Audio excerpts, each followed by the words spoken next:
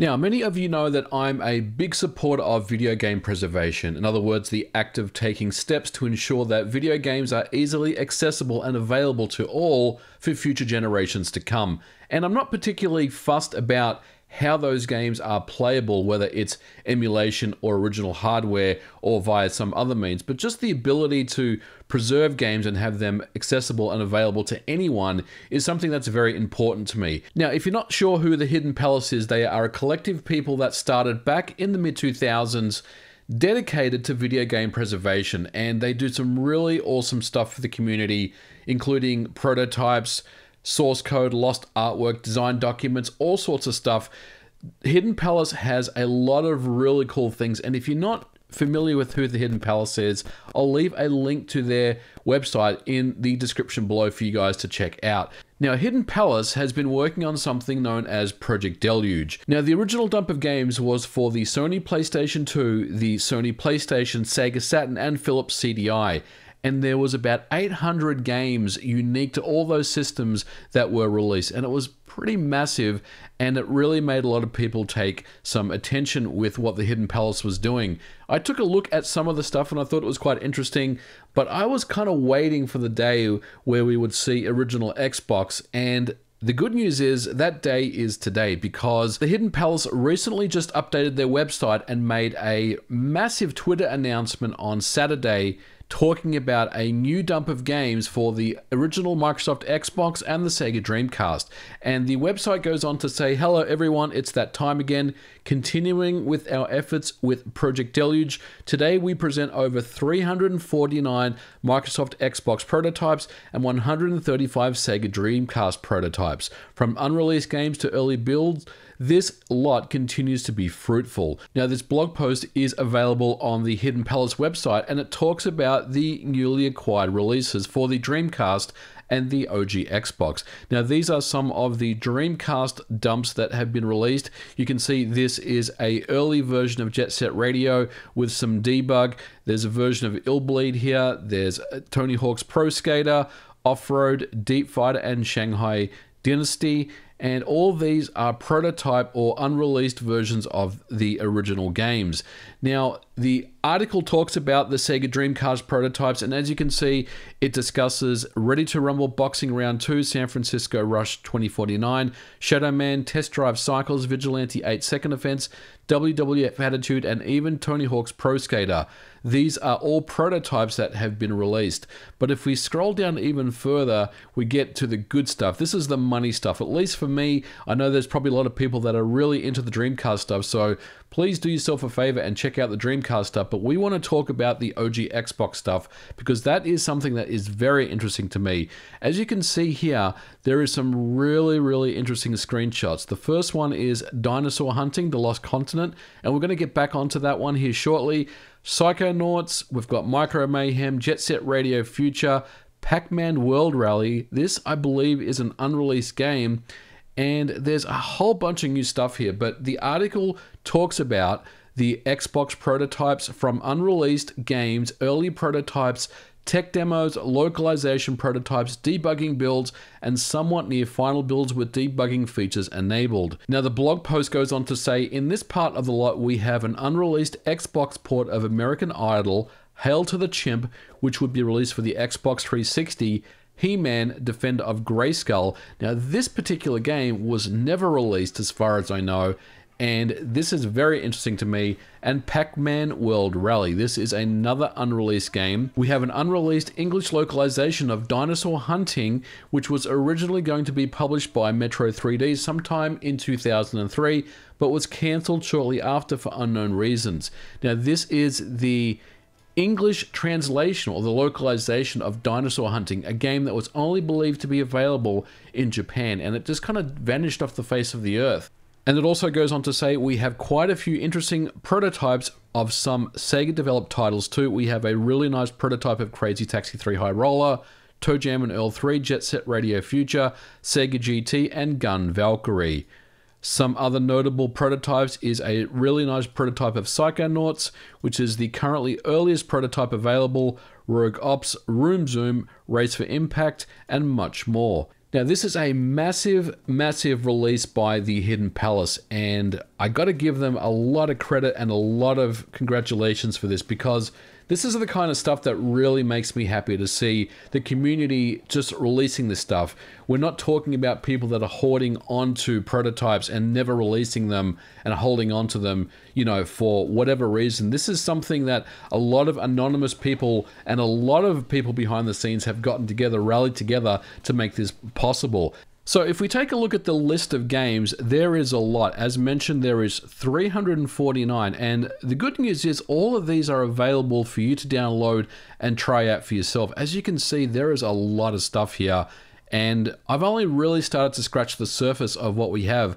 But the first one I took a look at was Area 51, which is the July 23 prototype. And this was a part of a demo disc on a demo version. So when you actually load the game, you've got that demo XBE launcher. But as you can see here, there is a lot of notes that have been set with this game. It's a demo version, as mentioned. It's missing all the full motion videos. It has a completely different title screen, different heads up display, different gameplay mechanics, different level design and layouts. And as you can see, these are the screenshots um, of the game. Now, I decided to turn on my Xbox dev kit and play the game myself and take a look at it. And yeah, I mean, it's it's all here. It's available. You can download any of these prototypes and play them yourself. And I'll talk about how you can use an emulator as well. You don't have to use an original Xbox to do this. Xbox emulation has gotten a lot better in recent times, and I'm not saying that all of these games will work on emulation, but the great news is you can see here that they make a note if the game is emulatable, and you can use XEMU as of September 12, 2021, and I've confirmed that this game actually works 100% fine under emulation. Now, if we continue to go through this list, there is so much stuff here and I think there's someone something here for everyone to take a look at. But I didn't spend too much time going through everything because there's literally literally hundreds of hours of stuff that you could potentially go through here. Another game I checked out was Crazy Taxi 3 High Roller, and this one here is quite interesting because it's a preview build dated two months before final. There's no auto demo. The game crashes a lot, but it's playable, and if you look at the screenshots, it looks like it's the final version of the game. But once again, I decided to turn on my dev kit and play it. And it's clear that this game is not final. There's a lot of missing textures. There's different text elements uh, in, in different places. It crashes a lot. There's graphical errors. And another mention here is the emulation. You can see here it's saying it's not emulatable. So great work by the Hidden Palace to really walk you through, you know, if you can play these games via emulation or not. But the cool part is all of these, as mentioned, have download links. So you can download these and play them yourself if you have original hardware or if you want to try out an emulator. And another prototype that I checked out was Crimson Skies. Now, this one is really interesting because this is a pre-release version of the game and as you can see here with the screenshots it's been labeled as such. But again, this was something that was different than the final build. Now, this one didn't work with emulation. I tried emulation, I tried CXBX and XEMU. I couldn't get this to work, but I did try it on my dev kit and it loads up just fine. Now, the only real difference I could tell was the intro screen here but otherwise everything seemed to be the same. So I think this was something that was pretty close to retail and if you look at the notes here, it says predates the final US build by over three months. So maybe this was probably the, the game that they were about to get ready for certification going forward. But as you can see here, just a massive, massive list of games here. There is a lot of stuff here. And this is the one that's the most interesting to me is the Dinosaur Hunting Beta. This was completely unreleased in English. There was no version of it in English. But as you can see here, the localization prototype of an unreleased English version. It was originally announced to have Metro 3D as its publisher on November the 7th. The game had multiple final release dates. The game originally had a 2004 release, followed by a March 24th, 2004 release, and finally an August 2nd, 2004 release before it was silently cancelled. And the game again was cancelled for unknown reasons. Now, these screenshots were just absolutely mind blowing to me. And when I tried out the game, it loads just fine on my dev kit, and I played it for about an hour, and I've had a lot of fun. I mean, for me, the game feels like it's it's done. Like I couldn't really notice anything that was kind of unfinished for me. The the the localization code looked pretty good. And for me, I'm I'm very confused as to why the game never came out. But you can play the game with emulation, CXBX and XEMU as well. So check that out. I think for me, that's probably the most interesting on this list. But there is a lot more, a lot, lot more. And look, there is just so much here. As you can see, we're just going through this list of games. And the other one, I guess, that I want to talk about that was probably the most interesting was He Man Defender of Grayskull. This was an unreleased game. And this game was developed by Savage Entertainment, was released in Europe only for the PlayStation 2 two years after this build. The game was originally going to be published by TDK Mediactive and was in development for late 2005 or 2006 release. The game was in development so long that it was even featured on the Xbox 360 back compat list despite never being released. The game was cancelled for unknown reasons, possibly due to impending release of the Xbox 360. I mean, looking at these dates here, it's very obvious that Microsoft was really pushing the Xbox 360, so it kind of made sense that this game never made it onto the Xbox. But this is a game that I've I've literally never seen before. I've I've heard about it, but I've never seen the Xbox screenshots, and this is pretty interesting to see. Now, another game that I took a look at was Pac-Man World Rally, and this, again, is an unreleased game, and this is a kart racer in kind of the Pac-Man universe, and this is a lot of fun to play. As you can see here, the prototype of the unreleased Xbox port that was cancelled for unknown reasons.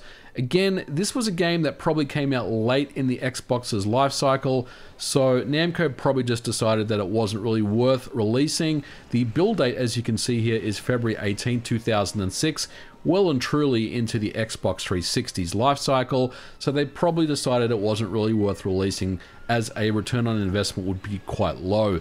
But that's, of course, just speculation. But as you can see here, this is the demo of this port was included in the Xbox port of Pac-Man World 3. Now, I tried this out with both the Xbox development kit that I have and emulation, and it runs really well. It's a lot of fun to play. This is a really cool kart racer. Now, there's only two levels in this particular build, this demo, the Arctic Iceberg and the Haunted Mansion, but you can see it's taking a lot of inspiration from Super Mario Kart, or the Mario Kart series, I should say, and it's a ton of fun. Now, one other cool thing that the Hidden Palace is doing is uploading screenshots of the discs themselves. So when the discs were submitted to the Hidden Palace for this project, they took screenshots of every single disc physical media that was available. So if we click on another one here, for example, Otogi 2, you can see here that this is the disc that was sent to them. Now, in, in some cases, it's just a burnt disc that has review written on it, but all of them come with the actual media, the photographs of the media that the discs were submitted with. Now, this is really only scratching the surface of what we have here. If we continue going through this list, there's so much stuff. Another one that really is interesting to take a look at is the Red Star, which was an unreleased game. Now, there have been builds of the Red Star that have been released in the past before, but this is another one, a prototype build that has been uploaded by the Hidden Palace. So this is really cool to see as well. And continuing on, we've also got the Simpsons Road Rage, a prototype of the Simpsons Road Rage, which has a alpha build dated two months before the earliest final build with opening cutscenes that are different. Some menus don't work. Now, I think for me, the most interesting game on this list is known as The Vats. I've never even heard of this game before, but this was a, according to the notes at least, a vertical slice that was used to pitch with publishers to really try to sell the game to publishers and, and potentially get it signed and released as a fully commercial game. But the notes here says that the game was scheduled to be shown at E3. The game boasts a custom engine called Goliath that was capable of handling advanced physics, animations, morphing, and blending. The game was silently cancelled for unknown reasons, and media is very scarce. The game itself serves as a pitch of sorts with points in the game used to, as a way to showcase and explains the game concepts and goals. Now, one other thing that I want to mention is emulation. Xbox emulation has come a long way since we last talked about it, maybe 18 months ago. It's still not perfect, but it's getting better. And the best emulator that you can use these days is known as XEmu and it does handle and support a lot of these unreleased games. So you can take a look at them yourself and do so pretty easily without original hardware. As long as you've got a fairly fast PC you can get access to these games and they do look and play pretty well. Now XEmu is something that I'm probably going to be covering in a future episode because I'm pretty impressed with how Xbox OG Xbox emulation has advanced over the last few years, and I think it's time that we revisited it because I think the compatibility percentage is a lot better than what a lot of people are thinking because when you think about Xbox OG emulation you tend to think oh that's you know that's only like 50% compatible. But in recent times there's been some pretty big advancements in OG Xbox emulation and I definitely want to walk you through and show you what is possible on original Xbox emulation in 2021 and beyond because it surprised me and I think it will definitely surprise you guys. But wow, what can I say? Project Deluge is massive and the Hidden Palace also is mentioning in their blog post here that this is only scratching the surface. There is a lot more to come. They're currently in the process of sifting through, archiving, and preparing a another big list of and release of games in the future and I can't wait. Whether it's OG Xbox stuff hopefully we'll see more OG Xbox stuff maybe some 360 stuff because there's a lot of really interesting things in those areas that I'd love to take a look at. But what do you guys think about this? I am really really fascinated. I'm very happy to see this and I'm all about it. So again big thank you to the Hidden Palace for Project Deluge. I'll definitely be keeping an eye on this one going forward, and I can't wait to play more of these prototypes.